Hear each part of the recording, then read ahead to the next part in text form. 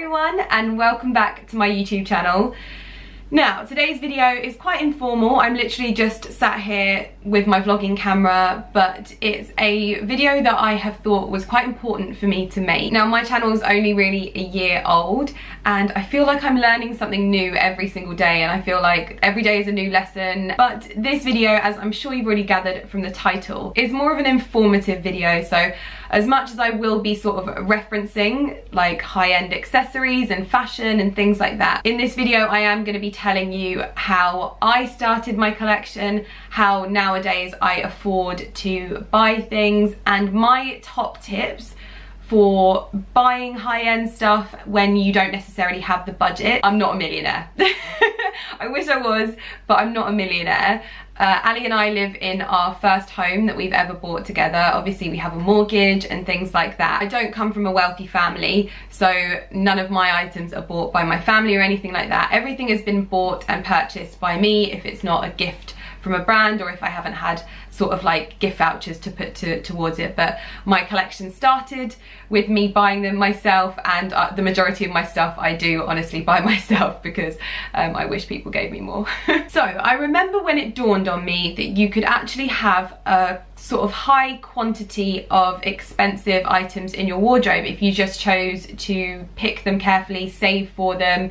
I always thought of it in my head as if I buy one thing a month, by the end of the year, I have 12 items in a wardrobe. And if I buy them carefully it means that they'll stand the test of time. Which is why you'll see that I often tend to go for sort of more classic um, understated colours and styles just so that I get the most wear out. I don't have the money to have an entire wardrobe full of only high-end stuff as much as I wish I could, believe me, if I could I would. So I started my designer collection long before this YouTube channel. I was still at university, um, I was a student, and again, I didn't have my parents like funding me or anything like that. I had three jobs, so I was working at like Topshop, and then I worked at two bars as well. Uh, I think one was called Bar Soviet, so if you go to Northampton Uni and Bar Soviet is still there, I used to work there.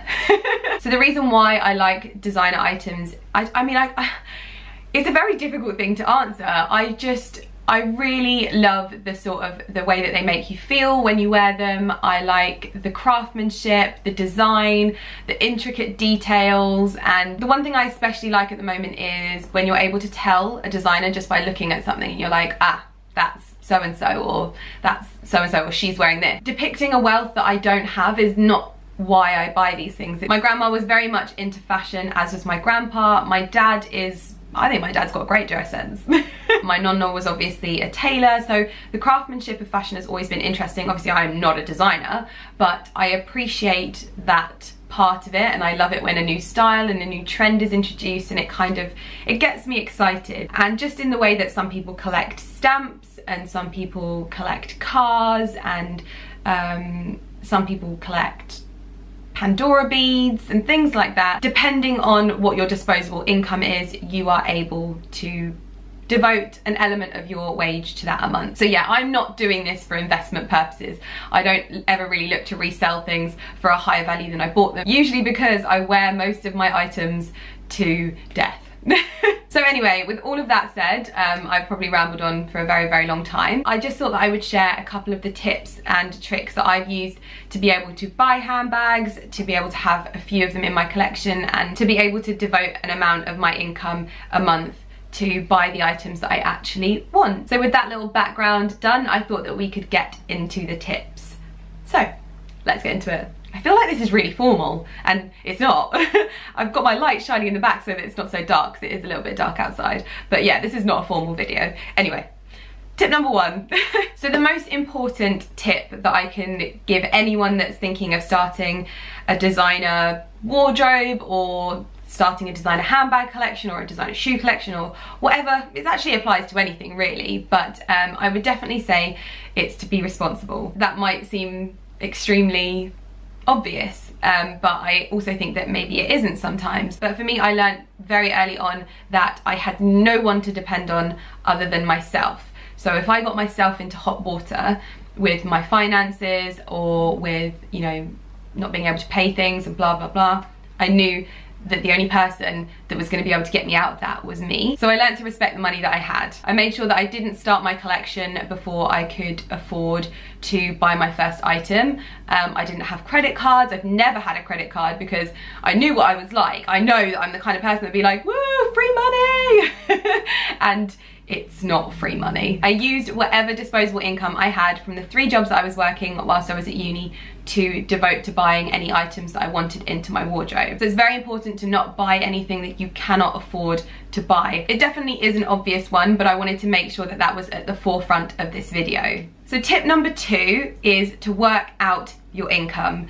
Some people have multiple incomes, some people have an income that differs every month, and some people have a set wage. It was quite easy for me to know what I had coming in and what I had going out when I was working for someone else but when I became self-employed, I had to sit down and be like, okay, I actually don't know how much I'm gonna have coming in on a monthly basis. I need to work out how much I need to earn to ensure that my mortgage, my petrol, food, and all of those things are covered. So that was the thing that I did first. I worked out everything I needed and that included every everything that could possibly go wrong. So a contingency plan of like 200 pounds if like the dishwasher broke or something like that. Then I would look at how much I want to save on a monthly basis and I'm actually really good at saving, like really good at saving. I think it's one of the only things that I'm actually good at.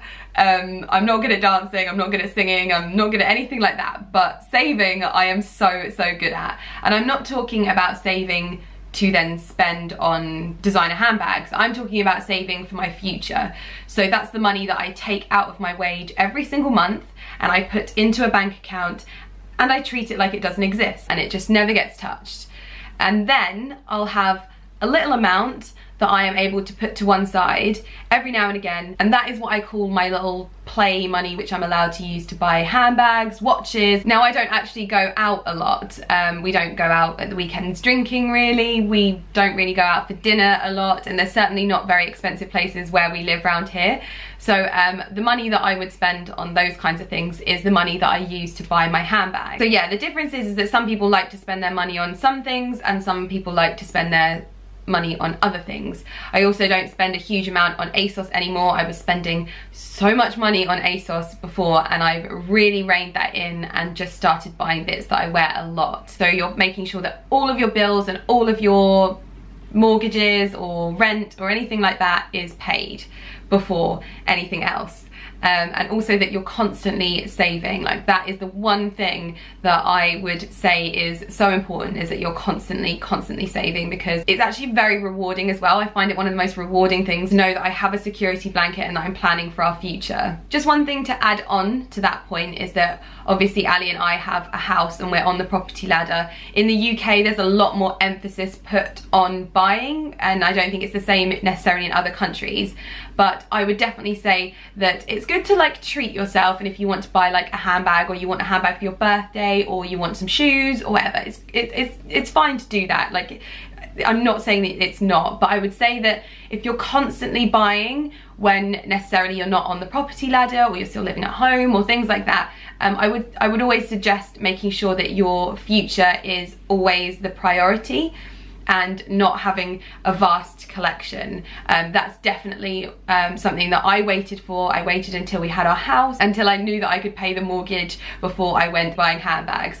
So yeah, that's definitely something that I think is really important. Um, maybe for people more my age, maybe a little bit younger, I don't know. Tip number three is to plan your purchases. So what I like to do is um, if I see a bag that I like, I will always have that bag in my mind. So if I'm putting an outfit together, I will think, oh, that bag or those shoes or that coat will look really nice with this outfit. And after a few weeks, it will reach a point where I'm like, I'm seeing where this product or item fits into my wardrobe really nicely. And this is the bit that you guys don't see. So recently I bought a Diorama bag, a Christian Dior Diorama bag. I'd been mulling this bag over in my head. I'd seen quite a few girls that had had it and I was just like, would it go in my wardrobe? Because one of my other bags that was similar I didn't wear so much but I kept trying on outfits and I was like oh that looks so nice. It looks so nice with this outfit. It looks so nice with that outfit. And I just do that for a few weeks, maybe a few months, and then when I feel like I'm ready to maybe purchase it, that's when I'll take the money from my little special place where I keep the money that I save from my earnings to spend on this stuff, and if I have enough, then I'll buy the item. So I thought that it was really important for me to include that hint or tip or whatever, um, just because sometimes it might seem like I impulse purchase or I'm not very responsible. Now this point to me is really important because I did impulse buy something once and if you remember it was those Chanel boots and I felt sick. I literally felt sick when I bought them and I actually didn't wear them for so long because I was so worried. I learned then that impulse purchasing without even thinking about something probably isn't the best way because it just, it gave me anxiety. So now I tend to mull items over in my head and um, I find that I feel a lot more comfortable when I do go and buy things that way. Some people do things visually, they put them on like pin boards. I know that Sophie Shohet does that. She has like a pin board and she puts it on there and she constantly thinks about it and um, mulls the sort of purchase over. So that's another way that you can do it as well. Tip number four is try not to be a hoarder.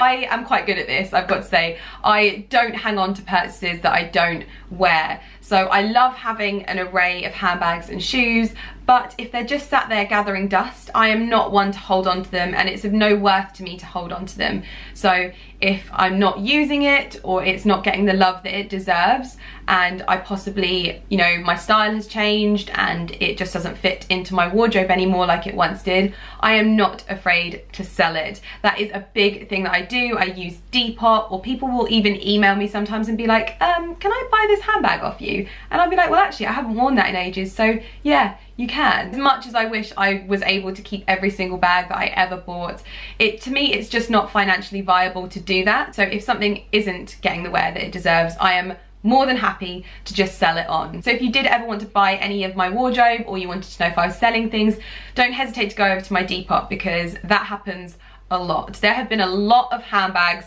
going through this house. I actually really like it when I'm able to get rid of something that I don't necessarily wear and then replace it with something that I do wear. It also means that I'm not necessarily losing out on money and the money is just going back into my wardrobe. So that makes me feel a lot better. Tip number five is don't be ashamed to buy secondhand. Like I think buying secondhand is a brilliant, brilliant way to get the items that you want in your wardrobe. I started my collection by buying things secondhand. So I think it's a brilliant way to get the bags that you want for a little bit cheaper. There are great websites like Vestiaire Collective, which I will link down below. They actually authenticate the items for you when you buy them so you don't end up with any fakes. So you can buy with like peace of mind. You can also shop via eBay and then use places like the Purse Forum, which will authenticate handbags for you. So I will put all of the links to that down below if you want to sort of shop that way because there are so many handbags out there, shoes out there, coats out there waiting for a good home and it's a really great way way to start your collection to see if you even like spending that kind of money on things. You might buy a handbag and be like, that was the worst money I ever spent. Tip number six is one that I'm just gonna say loud and clear. Do not get yourself into debt whatever you do. It kind of goes hand in hand with tip number one, but I just want to make sure that that is a known trend throughout this video. Do not get yourself into debt. You should be spending your own money, money that you have, and money that you can afford to devote to these kinds of purchases. Tip number seven is to have goals. And you don't have to buy everything right there and then. You can think, okay, I'll, by the time I'm 27, I want to own a Chanel handbag. And that's something that you can work towards and you can save towards. And then you can reach that point and think, do I want to spend this money on a Chanel handbag? Or do I want to take that money and maybe get the car that I want or put it towards some other things like a wedding or bits and bobs like that. Whatever your goals are, you can be constantly saving whether they're changing or not. But the point is, is that you don't have to have everything right now. Your earnings and your situations will change. So aside from all of the handbags and shoes that I love at the moment, my goal is to have a really nice home for Ali and I and Lumi to live in where we've got a lot of space because this is our first home that we're living in at the moment and it's quite cramped, especially now that Ali is working from home. So as much as I just bought a new handbag, I sold one to get that into my collection so that I can devote more of my money to ensuring that we can move house very, very soon and hopefully have a little bit more space. So it's good to have long-term and short-term goals when it comes to saving and spending and bits and bobs like that. And I keep saying bits and bobs, but those are just a few of the tips that I use when I'm buying these items because I know that sometimes it can seem like I just, oh, have a new handbag and there's not really been any thought process behind it and I don't ever want to be repeating myself in videos like oh I saved for a very very long time you know it gets a bit monotonous so when I haul a load of handbags I haven't bought all those handbags in one month um, sometimes I wish I did goals. I haven't. I do like to collect clothes, I collect bags over time and then sit down and do a video and tell you about them. But I do hope that this video and all of the little bits of information that I've included in it have maybe helped and helped you understand how I afford the items in my wardrobe and how I